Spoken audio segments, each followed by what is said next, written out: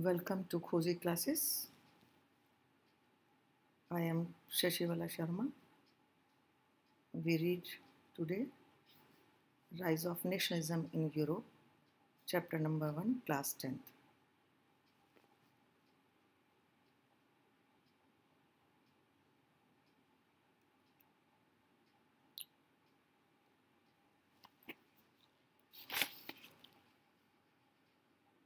Nationalism in 18th century in Europe, emerged as a modern state. इससे पहले इस तरह के मॉडर्न स्टेट की तरह स्टेट नहीं थे। यूरोप में कुछ चेंजेस आए जिसकी वजह से नेशनलिज्म emerged हुआ First of all, we see what is the meaning of nationalism. Nationalism is a feeling of love or pride for your own country that one's country is better than others. देश प्रेम राष्ट्र प्रेम की भावना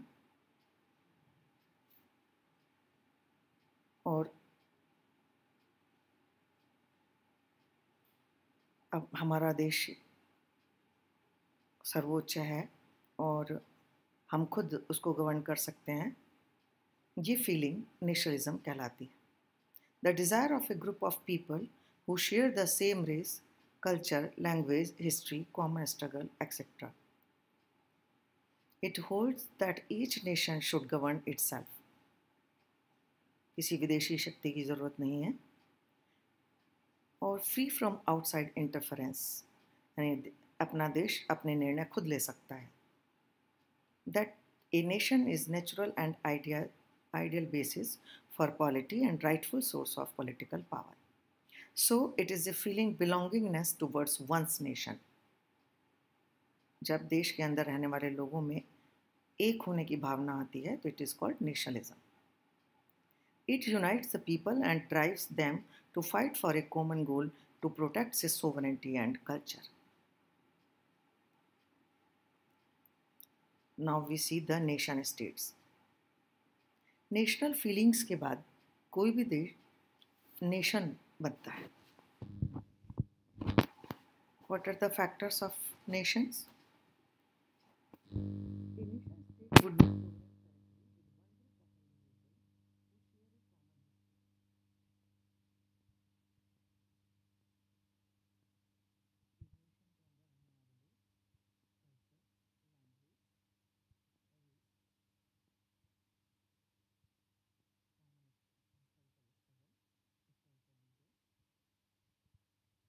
Share करता है तो nation state बनता है।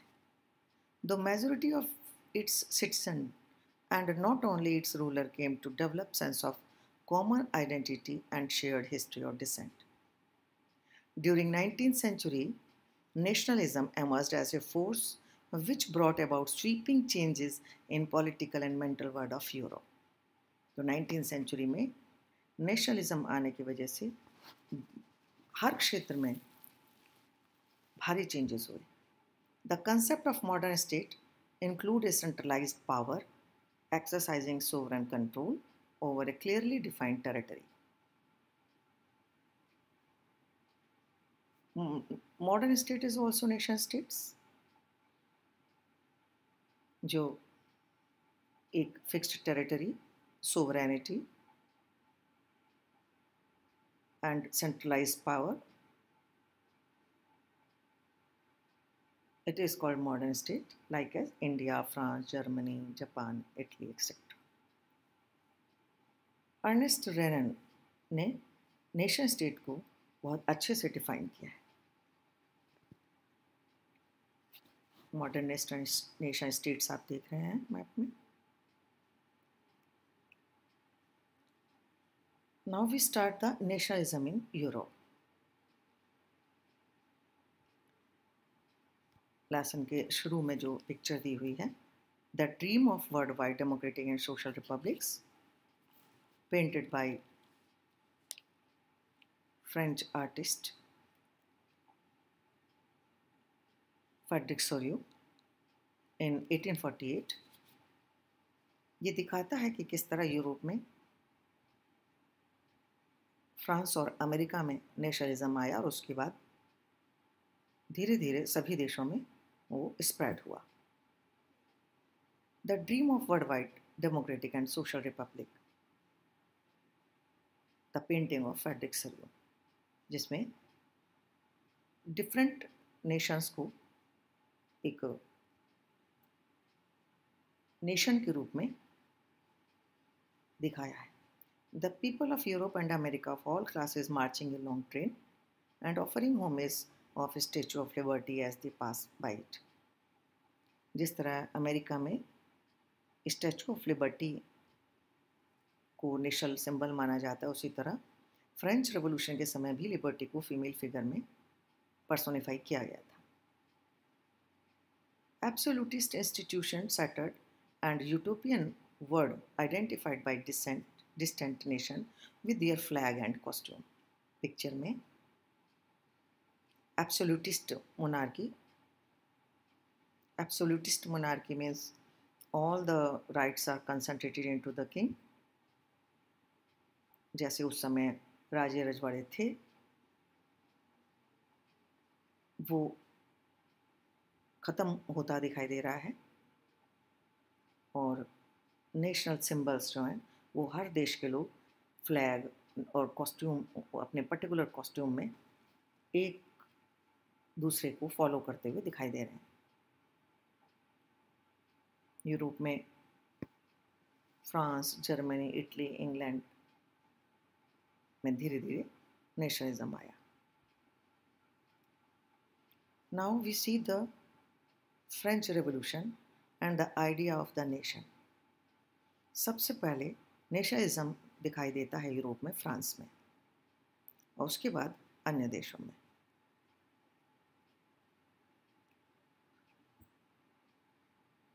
main factors which led to rise of nationalism in Europe. Main factors are cultural and intellectual changes, different wars and conflict, languages and literature, political movements, and most important was French Revolution. हालांकि जी W Frederick Hegel कहे जाते हैं father of the nationalism in Europe but nationalism जो स्पष्ट रूप से दिखाई दिया, वो फ्रांस में 1789 की रेवोल्यूशन के समय दिखाई दिया। It created a sense of collective identity among the French people the idea of la patrie means fatherland and le citoyen means a citizen France में रहने वाला प्रत्येक व्यक्ति फ्रेंच सिटीजन होगा, बिना किसी भेदभाव के। A tricolor flag and National Assembly, French language, and the new literature were the factors that united the French nation. These are the factors to become the nation of France. New hymns were composed, oaths were taken, and the and martyrs commemorated all the name of the nation. it declared its mission to liberate the people of Europe from despotism. French revolution ने जैसे France को despotism से दूर किया है, उसी तरह Europe के अन्य लोगों को भी डिस्पोटिज्म से या मुनार्की के अत्याचारों से दूर करना है। French armies spread these ideas in whole Europe ideas for liberty equality and fraternity this is the legacy of French revolution in these pictures some stories of French Revolution, tennis court oath, storming the Bastille. Bastille was the symbol of royal and Queen Mary Antoinette को मृत्युदंड देते समय का picture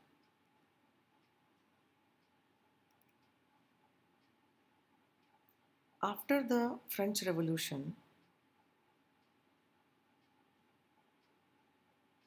the Napoleon Bonaparte play an important role as a director and as the king also. Napoleon spread the thoughts that he had already introduced in France to the outside world. हालांकि 1804 में Napoleon ने monarchy को फिर से establish कर दिया।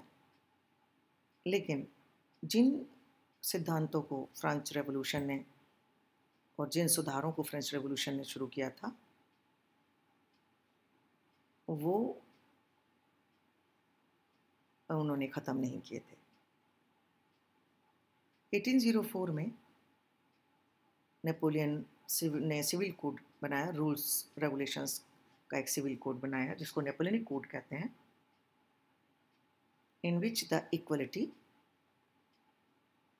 means no privilege by birth right to property जो पहले नहीं था simple administrative system and abolish the feudalism and serfdom and guild restriction in cities. These are the reforms of Napoleon. Transportation and communication were improved. Uniform laws, weight and measures, common currency increased the trade.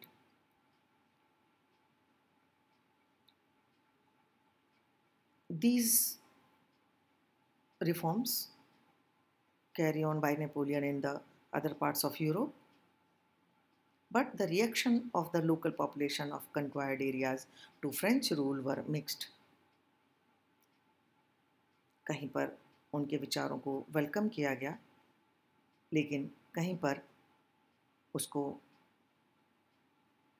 प्रतीक माना गया censorship high taxation under no political freedom का।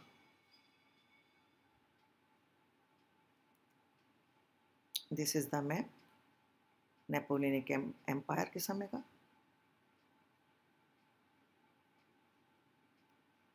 Next Now we see the making of nationalism in Europe.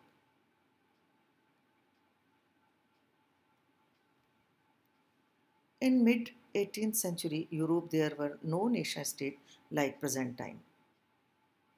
Germany, Italy, Switzerland were divided into small kingdoms. There was no collective identity, no common culture. For example, Habsburg Empire, which was called patchwork of many different regions, and people. It ruled over Austria-Hungary, which included Alpine region as well as Bohemia, Italian, Polish, German region, etc. There were many languages and dialects were present there, like as Magyar, German, Polish, etc. So there was no sense of political unity. But some changes occurred in 18th century which led to development of nationalism. What were the factors? First of all, aristocracy and emergence of middle class. The aristocracy was socially and politically the dominant class, which were united by a common way of life. ये सभी देशों की royal families आपस में marriage और friendship इस तरह से कनेक्ट होती थी। They had town houses and spoke French ज़्यादातर लोग फ्रेंच बोलते थे and were connected by ties of marriage however the majority of the population was peasant due to industrial growth and transformation of the society a new middle class emerged which consists industrialists, businessmen, professional, traders, etc. Industrial growth के बाद industrial revolution के बाद middle class emerge हुई there were educated and liberal people in middle class who wanted to bring national unity and equality in Europe.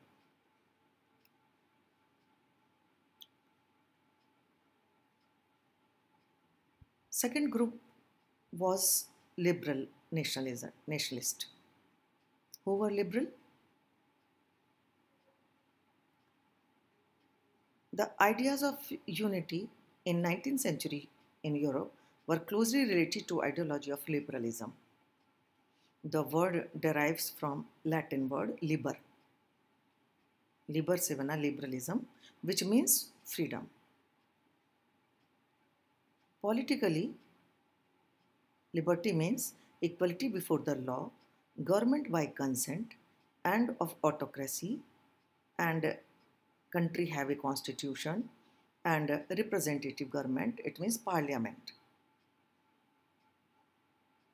But suffrage was not for all. Right to vote was not for all. Abhi bhi, poor men and women did not have a right to vote. महिलाओं को और बिना संपत्ति वाले लोगों को अभी भी राइट टू वोट नहीं था। They had to undergo a long struggle to get political right by twenty century महिलाओं को काफ़ी समय तक राइट टू वोट के लिए स्ट्रगल करना पड़ा और 1946 में जाकर महिलाओं को फ्रांस में राइट टू वोट मिला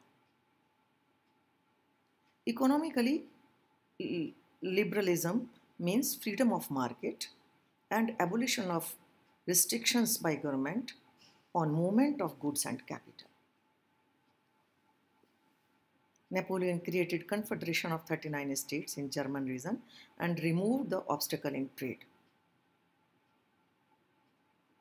उसके बाद भी जब यूनिफिकेशन हुआ जर्मनी का तब भी 39 स्टेट्स को नहीं वो किया गया In 1834, a custom union called Zollverein was formed in German region in which tariff barrier were removed और ट्रेड फास्ट हुआ और एक सेंस ऑफ कॉमननेस आया this brought a wave of national sentiments nationalism की भावनाओं का उदय हुआ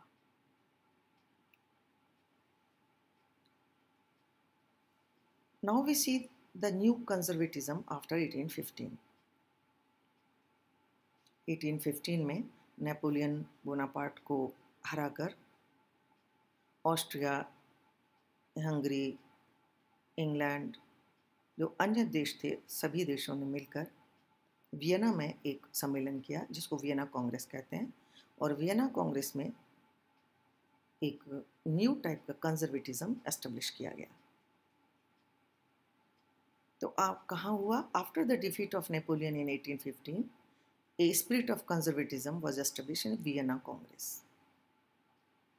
Vienna में जो सम्मेलन हुआ यूरोप को रिकंस्ट्रक्ट करने का उसको वियना कांग्रेस कहते हैं Vienna congress hosted was hosted by Duke Metternich.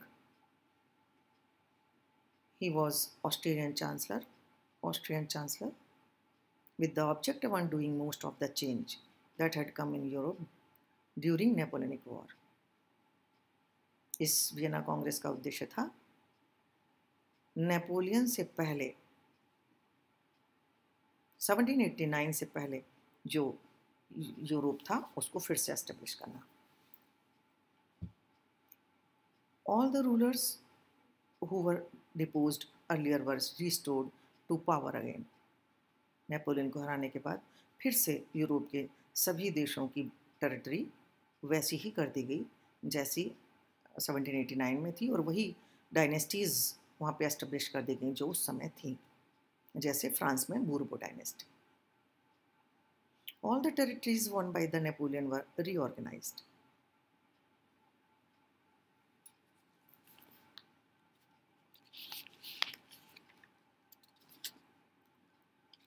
But the German Confederation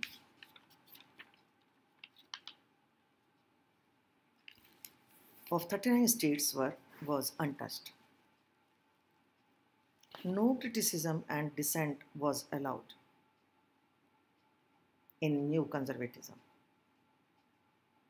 Censorship on press was imposed. A long struggle continued for achieving freedom of press. इसके अगेंस्ट लिबरल नेशनलिस्ट ने काफ़ी समय तक संघर्ष किया मैप में आप 1815 का आफ्टर वियना कांग्रेस यूरोप देख रहे हैं। थर्टी नाइन स्टेट्स का कन्फेडरेशन रेड बाउंड्री से दिखाया गया है। नेक्स्ट जो थॉट्स थे उस समय, वो थे revolutionaries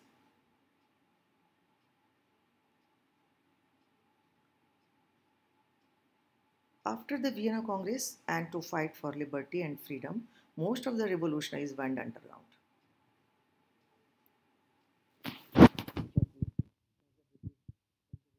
की वजह से लिबरल और नेशनलिस्ट जो थे वो छिप गए A great revolutionary Giuseppe Mazzini, born in Geneva in 1807, became a member of secret society of Carbonara. He was sent into exile in 1831 for attempting a revolution in Liguria. He founded two more underground societies Young Italy in Marseilles and Young Europe in Bern. He strongly opposed monarchy. उन्होंने निरंकुश राजतंत्र का विरोध किया और democracy को support किया he strongly opposed monarchy and supported the democratic republic. Metternich described him as the most dangerous enemy of our social order. Conservative के खिलाफ इनको मानते थे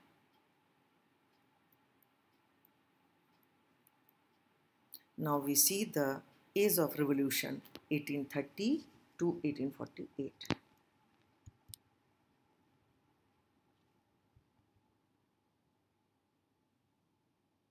समय पे यूरोप में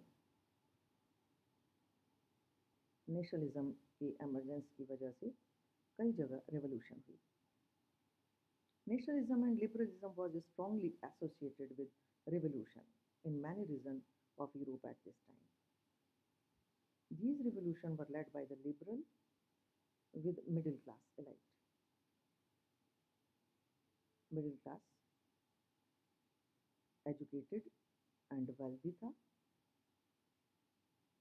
न्यू आइडियाज़ लिबरल आइडियाज़ होने की वजह से ये नेशनलिज्म को प्रीफर कर रहे थे सबसे पहला एग्ज़ाम्पल फ्रांस में मिलता है।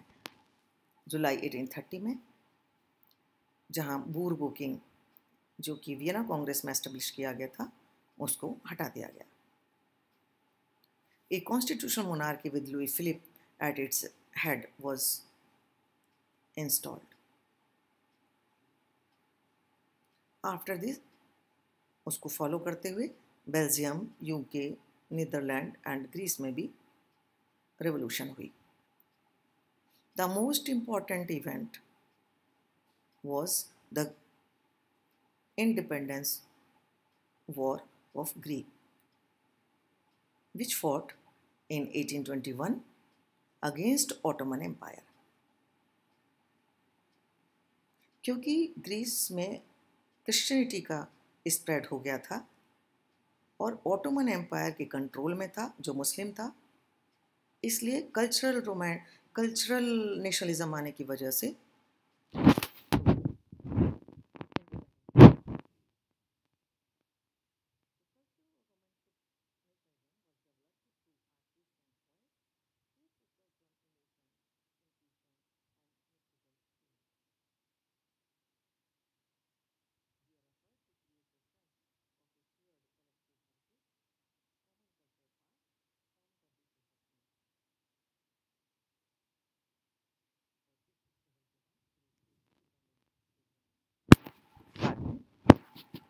क्रिश्चियन स्टेट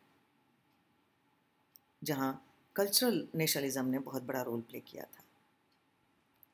नेक्स्ट एग्ज़ाम्पल हमें German philosopher John Gottfried Herder का मिलता है जर्मनी में, जिन्होंने ऑल द जर्मन्स को दासवोक कहा और वो पॉपुलर पॉपुलर हुए। एक इंपॉर्टेंट एग्ज़ाम्पल पोलैंड का मिलता है, जहाँ Karol Kurpinski celebrated the national struggle with Polonaise and Mazurka folk dance as national symbol. उन्होंने अपने फोक डांस को सिंबल बनाते हुए नेशनल फीलिंग्स को डेवलप किया पोलैंड में, जो कि रशिया का के कंट्रोल में था बाद में रशिया के द्वारा जो अपनी लैंग्वेजेस इम्पोज की गई थी, उसको, उसके अगेंस्ट पॉलिश लैंग्वेज को सिंबल माना गया the use of Polish language became the symbol against Russian dominance in these pictures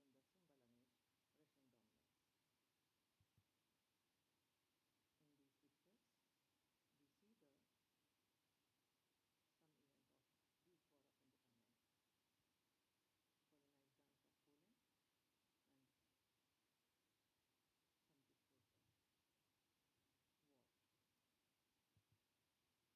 colonized lands of Poland, and some pictures of war. Now we see the hunger, hardship and revolt. इस समय 1830s में a great economic hardship in Europe. कठिनाई से जीवन बिताया जा रहा था, क्योंकि फ़ूड शॉर्टेज हो गई थी और अनएम्प्लॉयमेंट स्प्रेड हो गया था द एरिस्टोक्रेसी एंजॉयड पावर इस समय, जो एरिस्टोक्रेसी थी, वो पावरफुल थी रिसोर्सफुल थी, जबकि peasant with many burden due to feudal use आम जनता को बहुत ही कष्टों में जीवन बिताना पड़ा। क्योंकि बहुत टैक्स थे। Food shortage and unemployment broad upheaval and revolt परिणाम हुआ रिवोल्यूशन इन यूरोप एक मोस्ट पॉपुलर रिवोल्ट है सिलेशिया के वी वर्स का। Weavers in Silesia had led a revolt against contractor who supplied them raw material and gave them order for finished textile but drastically reduced their payment. वो contractor उनको material देते थे लेकिन payment नहीं देते थे बहुत से पोइट्स ने राइटर्स ने इसको अपना विषय बनाया और उनके दुख को एक्सप्लेन किया पीजेंट्स रेवोल्यूशन जगह जगह यूरोप में होने लगी, जो पिक्चर में भी आप देख रहे हैं 1848 में।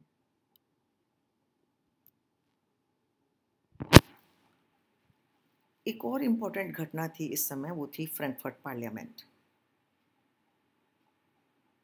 in 1848 there were so many revolt by poor peasants and workers in France Germany Poland Austro Hungarian empire in German region many political association and middle class met in Frankfurt and demanded right to vote for all. German region German region में right to vote की demand हो रही थी liberals और political association demand कर रहे थे कि सभी जर्मन्स को राइट टू वोट मिलना चाहिए इसके लिए उन्होंने एक एफर्ट किया वो था। They marched on eighteen of May 1848 with 831 elected members and reached Saint Paul church जो कि पिक्चर में दिखाई दे रहा है। This is called Frankfurt parliament यहाँ इकट्ठे हुए और उन्होंने एक कॉन्स्टिट्यूशन डॉक्यूमेंट बनाया जर्मनी का कॉन्स्टिट्यूशन बनाया, जिसको वो अपने किंग के पास साइन करने के लिए ले गए। लेकिन बाय द वे किंग ने उस पर साइन करने से मना कर दिया और वो रिजेक्ट हो गया। The drafted they drafted a constitution the in Saint Paul church the members elected members drafted a constitution for a German nation headed by monarch Frederick William IV, the King of Prussia, but he rejected the proposal. क्योंकि उसमें राजा को कोई विशेष power नहीं थी इसलिए Prussia के राजा ने उसको रिजेक्ट कर दिया Prussia is the most powerful state in Germany In the end, troops were called and assembly was disbanded by the king.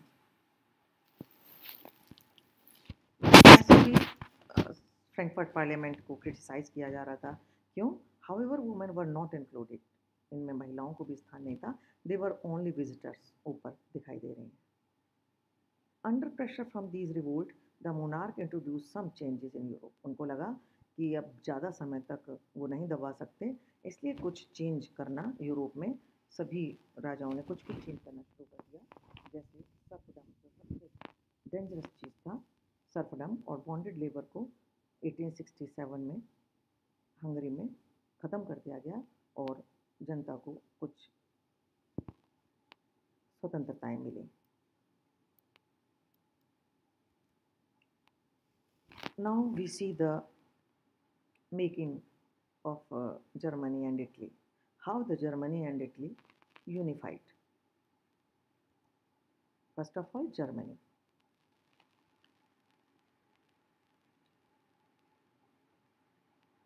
कहा जाता है कि क्या आर्मी भी किसी देश को यूनिफाइड कर सकती है? Can the army be architect of a nation yes the army unified the nation like as Germany and Italy To unify Germany, monarchy, military and the junkers, junkers landowners, bade bade landowners, supported the leadership of Prussia. Prussia was the most powerful big state in Germany and led the, uni- led the unification procedure. The Chief Minister of Prussia, Otto von Bismarck, who was the architect of German nation, began this procedure with the help of army and bureaucracy and unified the new nation, new nation, German state. There were three wars fought in seven years with Austria, with Denmark, and in last 1871 with France. In 1871, France के साथ अठारह इकहत्तर में लड़ाई के बाद Prussian जीत हुई Prussia की जीत हुई और जर्मनी को यूनिफाइड किया गया। Complete unification of Germany after the unite the Germany William first the Prussian king became the emperor of Germany. Picture में आपको प्रोक्लेमेशन ऑफ़ जर्मन एम्पायर दिखा गया है। डिक्लेरेंस we see the Bismarck Otto von Bismarck architect of German nation और German unification दिखाया गया eighteen sixty five से seventy one तक।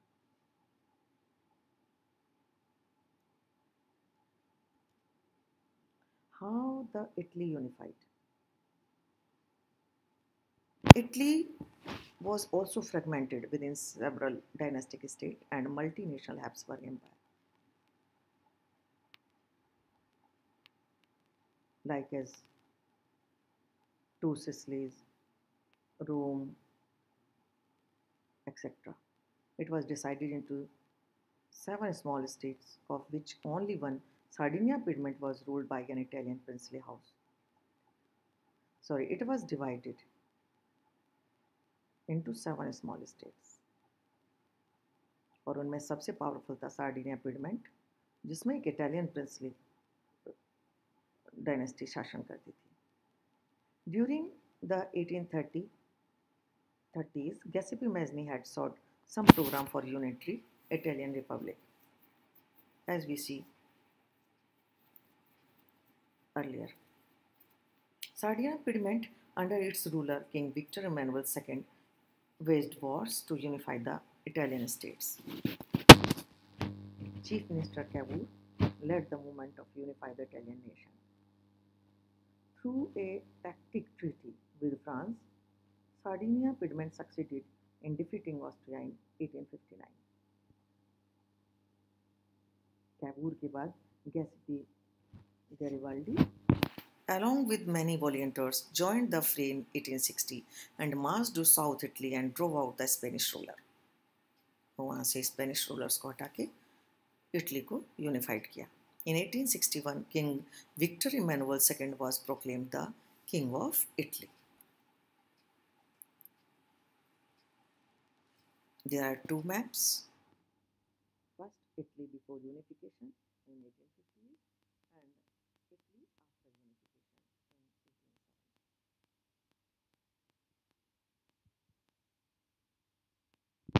Now we see the unification of Britain.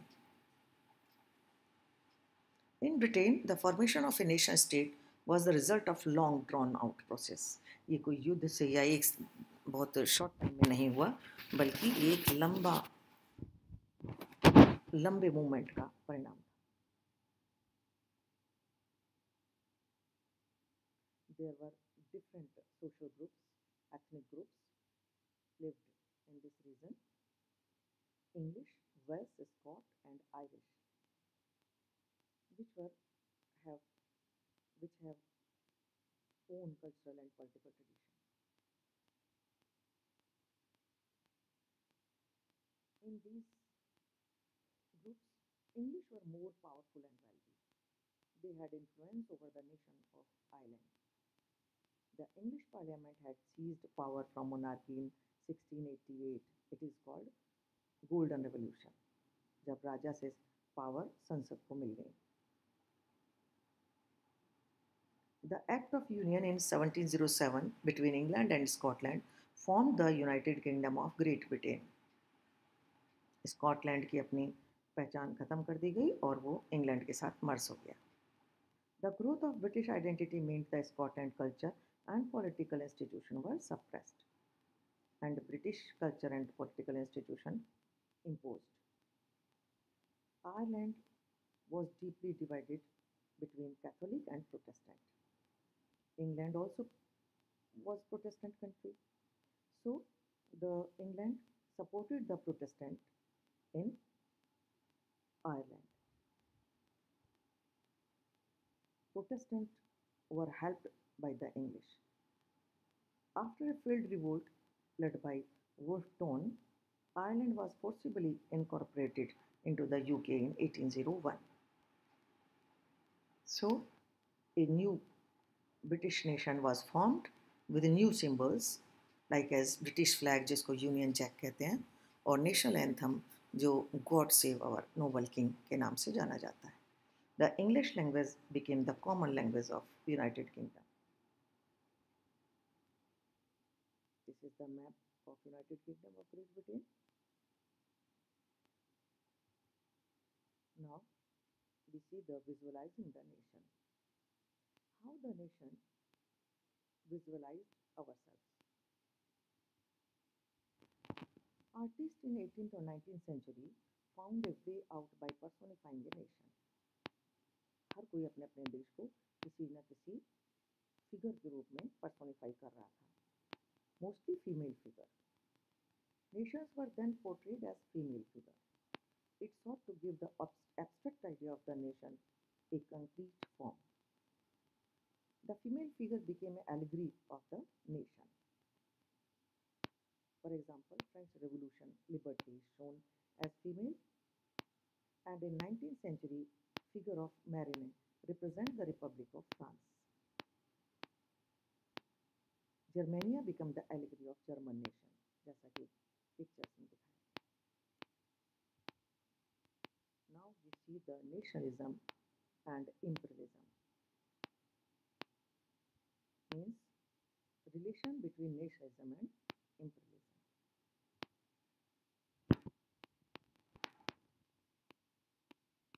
by the late years of 19th century nationalism became increasingly intolerant of each other and ever ready to go to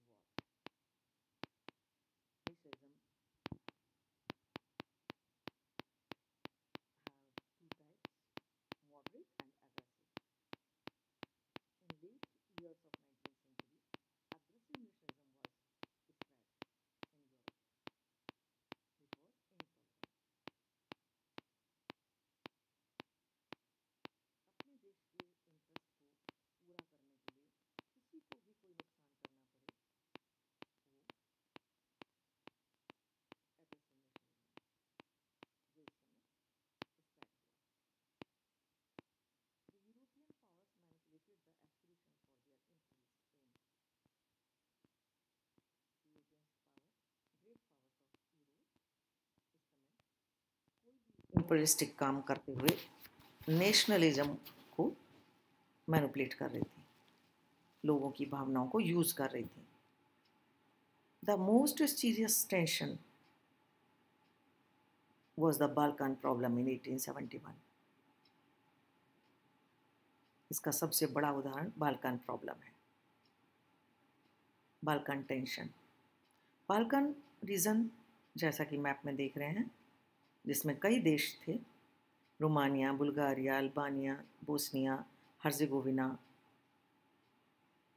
Greece Montenegro etcetera it was the geographically and ethnically varied comprising these countries the inhabitants of his region of this region, were broadly known as Slavs.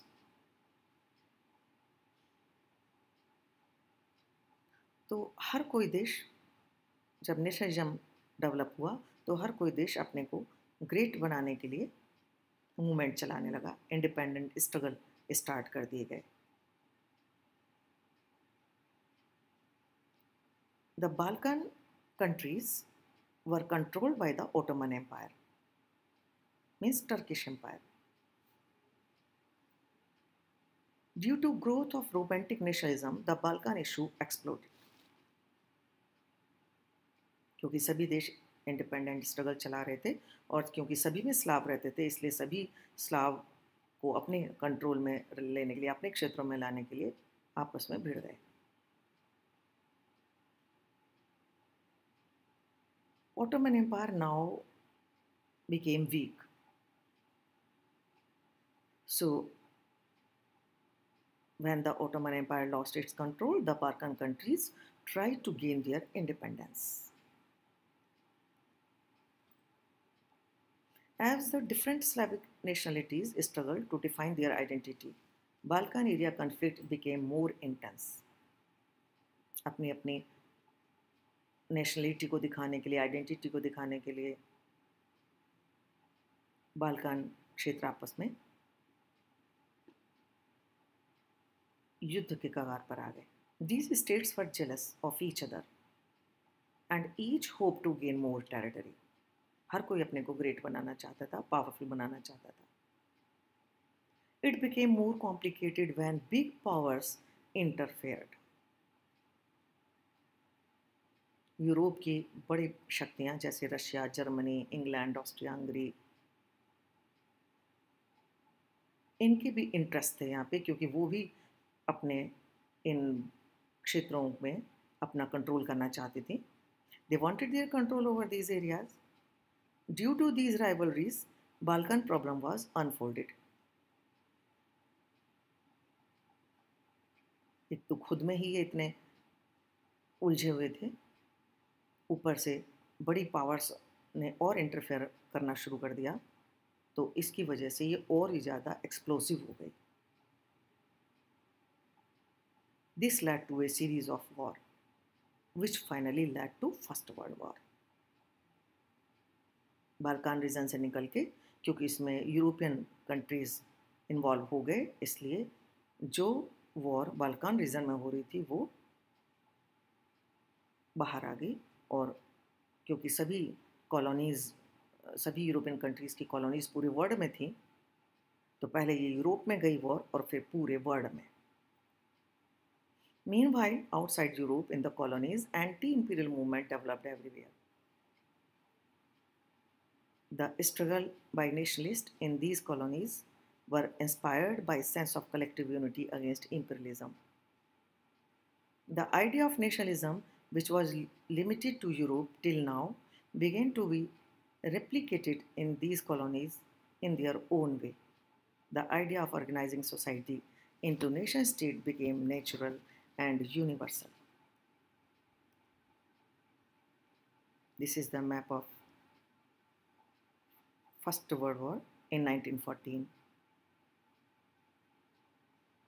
The British, French, Russian, German, Italian colonies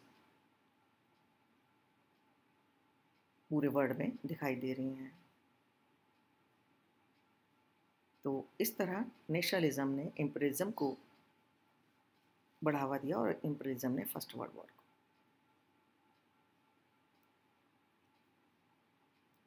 Thank you for watching the video thank you